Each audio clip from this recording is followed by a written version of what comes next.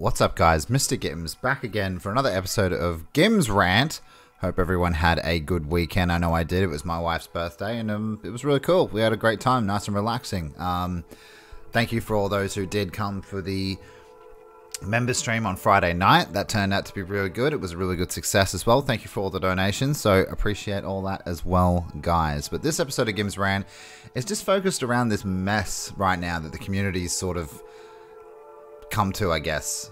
Um, it's it's definitely drawn out a lot of weird conversations that I've had personally um, with people in on YouTube, um, on Twitter, on the forums. Um, like for instance, I've had this guy, this Caleb guy, who just insists on schooling me on how to play uh, this game and the people I play with, um, and also how my judgment should be more pulled back and stuff like that. Just everyone's very moody, um, opinionated, and, and that, that's fine as well. But just to the point where you're being an absolute douchebag is probably a little bit too much. But yeah, I've had this guy along with many others just give me shit for how I judged him on PTB, the Blight on PTB, compared to how I'm judging him now. And just a lot of people need to get a little bit get get a clue. I think I think it's getting a little bit ridiculous.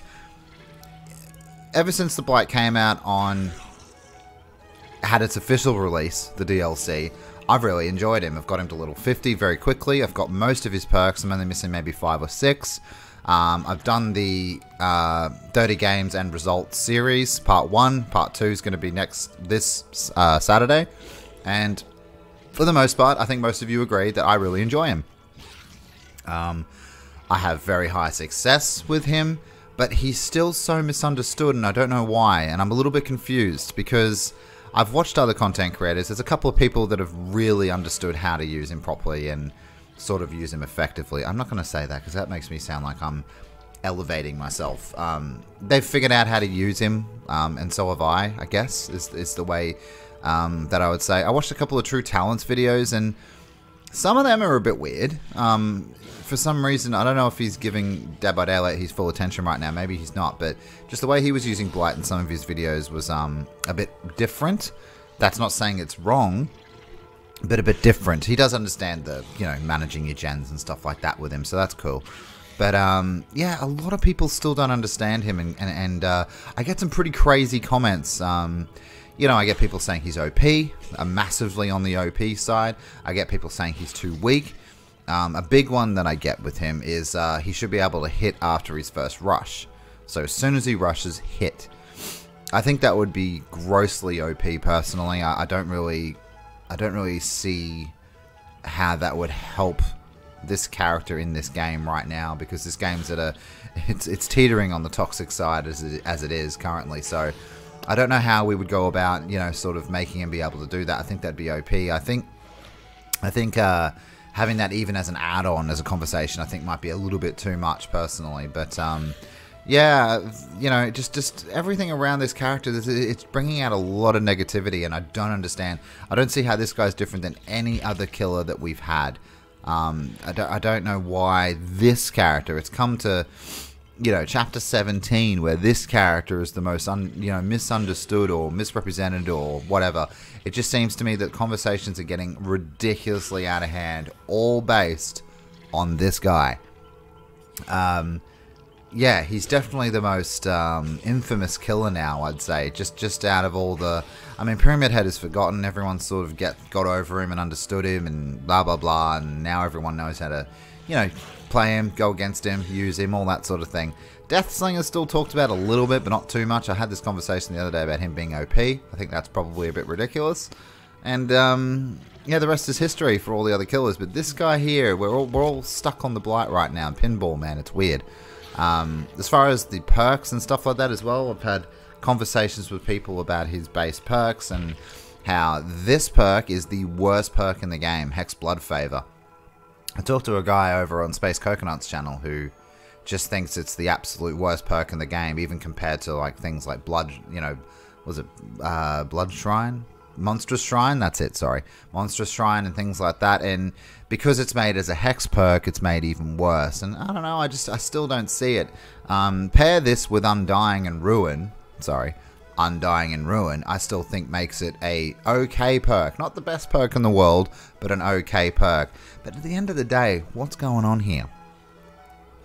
We have just received probably the three best perks since. Let's have a look. Since.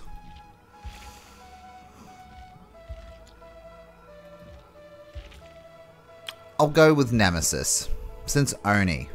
Since Oni, guys. Let's keep going back. Demogorgon was horrible. Actually, Demogorgon's Surge was okay. Throwing Tremors was okay. We usually get one good perk per... Uh, they're okay, two of them. Usually get one good perk-ish. Discordance. Per killer. No, these two are okay. Rancor is hardly used for some reason, even though it's okay. Yeah, we've had three good perks. Like, I mean, okay, fine. If you want to, if you want to go with if you want to go with uh, Hex Blood Favor not being very good, that's fine. I can I can see where you're coming from there, but it's not terrible either. Pair it with other things, and it's not terrible either. Just like you pair other perks with other perks. But anyway, I think these are the three best perks we've had in a while, and I, and I don't understand how we're all getting, you know, we're all picking apart everything all of a sudden now that we've been handed the keys to the city. So I just find that really weird.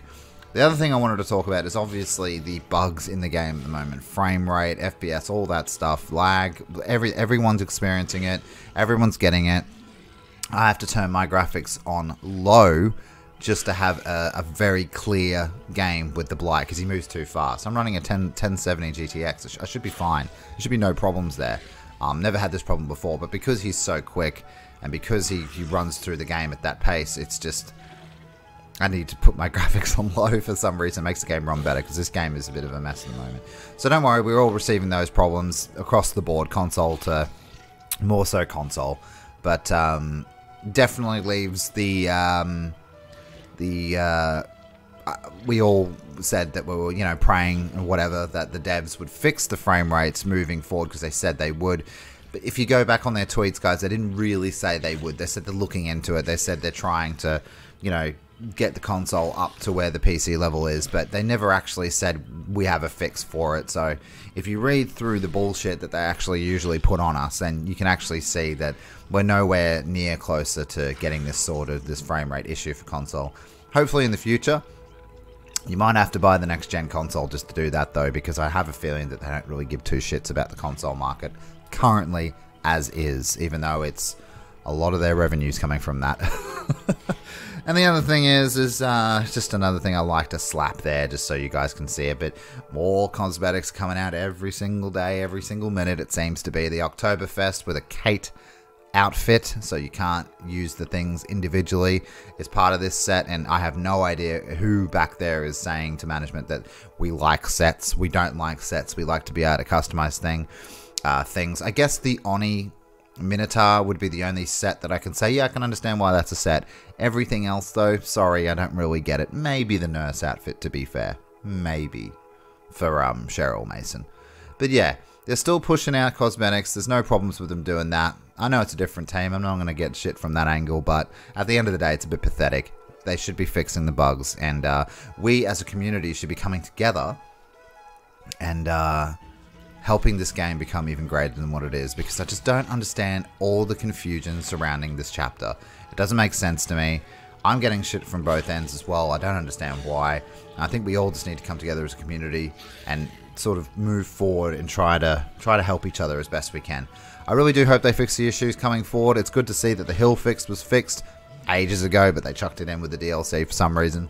For some reason. Um, but yeah, let's try to stick together through this period. It's getting a bit, little bit ridiculous how toxic this community is getting. Uh, my community is great for the most part. I don't really have a lot of problems. I get a lot of new people coming in and just sort of laying the smack down on me, trying to get answers out of me, and I can only tell them the same thing that I've heard. But anyway, guys, that's Gimms Rant this week. Sorry I didn't stream today. I'm just absolutely knackered from the weekend and I'm feeling a little bit under the weather. I will be here tomorrow for the stream 2 till 6. Hope to see you there, and I hope everyone has an amazing day. Alright, guys, take it easy, stay safe, and I'll see you tomorrow.